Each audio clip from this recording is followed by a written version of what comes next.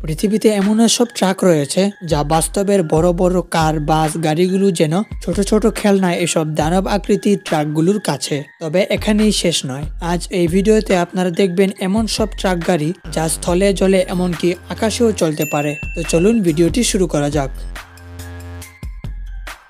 Plus seven five seven one zero এই ট্রাকটি পৃথিবীর সব থেকে বড় ট্রাক। অত্যন্ত শক্তিশালী ও বিশাল এই ট্রাকটি পূর্ব ইউরোপিয়ানদের তৈরি করা। এই ট্রাকটি একেবারে চারশো পঞ্চাশ টন ওজন বহন করতে সক্ষম। ট্রাকটি ২৬ মিটার উঁচু এবং ২০ মিটার লম্বা ও প্রায় ১০ মিটার চওড়া। এই ট্রাকটিকে চালানোর জন্য এতে বিশাল বড় শক্তিশালী দুইটি ইঞ্জিন ব্যবহার করা হয়। প্রতি ঘন্টায় ট্রাকটি চৌষট্টি কিলোমিটার চলতে পারে।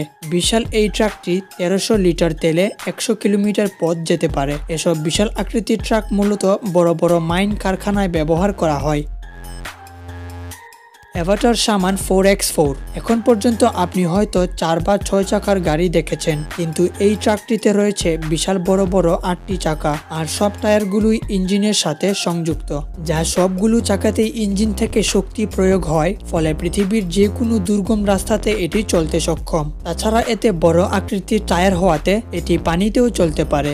গাড়িটির নিচু এবং উপরিভাগ খুবই মজবুত করে তৈরি করা। গাড়িটি বিশেষ করে রাশিয়ান সেনাবাহিনী ব্যবহার করে থাকে। গাড়িটির কোম্পানি একটি Russian private ATV company.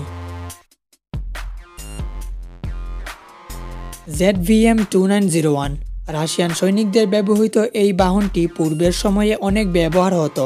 সত্তরের দশকে অত্যাধুনিক ফিচারের জন্য এই বাহনটি অনেক জনপ্রিয় ছিল। বিশেষ করে এই ট্রাকটির চোখ ধাঁধানোর ফিচারটি হলো, এই বাহনটিতে টায়ার ব্যতীত স্ক্রুর মতো আকৃতির চলাচল সিস্টেম ব্যবহার করা হয়েছে। বাহনটির শক্তিশালী ইঞ্জিনের সাহায্যে এটি গোল গোল ঘুরে সামনে পিছনে এগিয়ে চলে। এমন ডিজাইন হওয়াতে এটিকে আপনি পানিতে চালান কিংবা কাদামাটিতে, যে কোনো জায়গায় এটি না আটকে চলতে পারবে। যদিও বর্তমানে এটি ব্যবহার করা হয় না, তারপরও রাশিয়ান সেনাবাহিনীতে এটির ব্যবহার পুনরায় করা হবে। হেভি গ্রাউন্ড মোবিলিটি সিস্টেম এই বাহনটি বিশেষ কাজের এক বাহন, যা নিজেই মাটিতে স্টিলের চাদর বিছাতে পারে।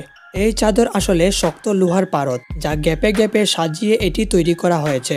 সেনাবাহিনীর বাহনগুলো সামুদ্রিক জাহাজ থেকে যখন নামানো হয়, তখন এই বিশেষ বাহনটির লোহার চাদর ব্যবহার করে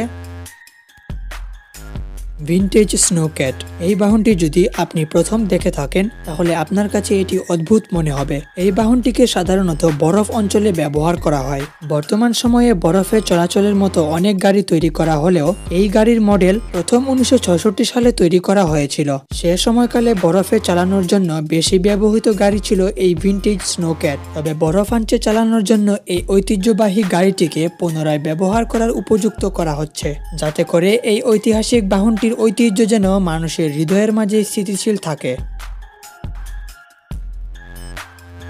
তো ভিডিওটি এখানেই সমাপ্ত করছি। আশা করি ভিডিওটি আপনাদের কাছে ভালো লেগেছে। আর আপনি যদি এরকম ইনফরমেটিভ রোমাঞ্চ ও ইন্টারেস্টিং ভিডিও দেখতে পছন্দ করে থাকেন, তবে আবিষ্কারের দুনিয়া চ্যানেলটি এখনই সাবস্ক্রাইব করুন এবং পাশে থাকা বেলাইকনটি প্রেস করুন। তো ইনশাল্লাহ দেখা হচ্ছে পরবর্তী ভিডিওতে। ততক্ষণ পর্যন্ত ভালো থাকুন।